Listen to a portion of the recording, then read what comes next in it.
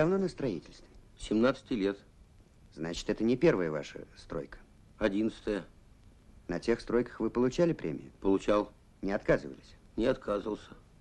Так неужели наша стройка хуже тех, на которых вы работали раньше?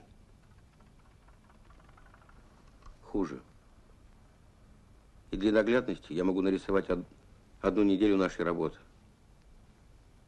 Нарисовать? Нарисовать?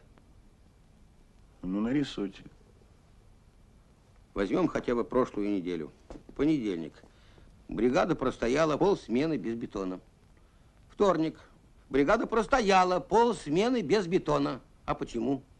Цемент на стройке есть, щебенки, песку навалом, а мы без бетона сидим. Я, я спрашиваю, почему? Очевидно, потому что мощности бетонного завода еще не соответствуют нашим потребностям. Так вы так и скажите, Потапов. Тебе завтра бетона не будет. Я другим делом займусь. Но ведь мне этого не говорят.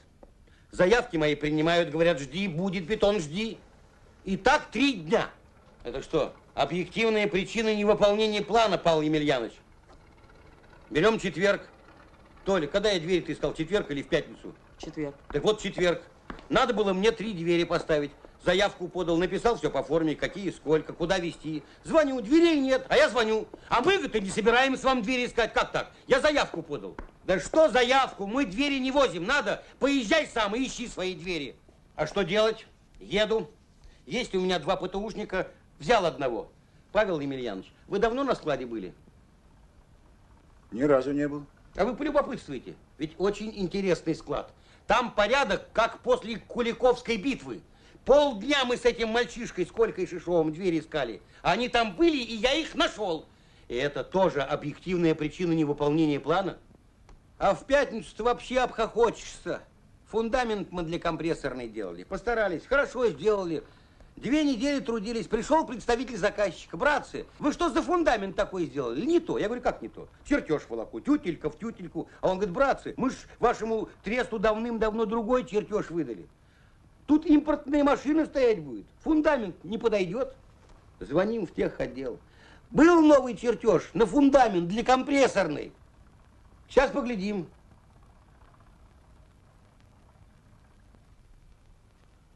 Да, говорят, такой чертеж имеется. Завтра пришлем.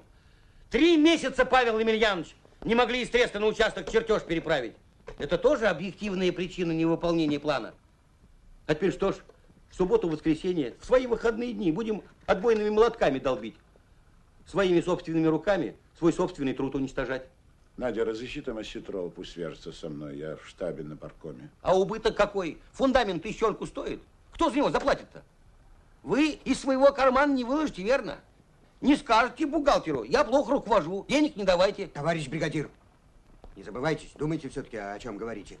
Павел Емельянович не капиталист, он за ваш счет не наживается. Ну и что, что не капиталист? Может, нам теперь за то, что мы не капиталисты, ордена выдавать, медали, премии? А ведь у меня, товарищи, половина бригады пацаны.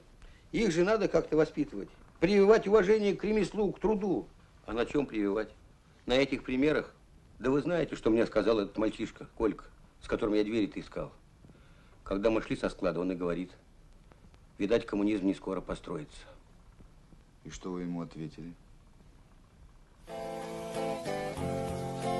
Ничего не ответил.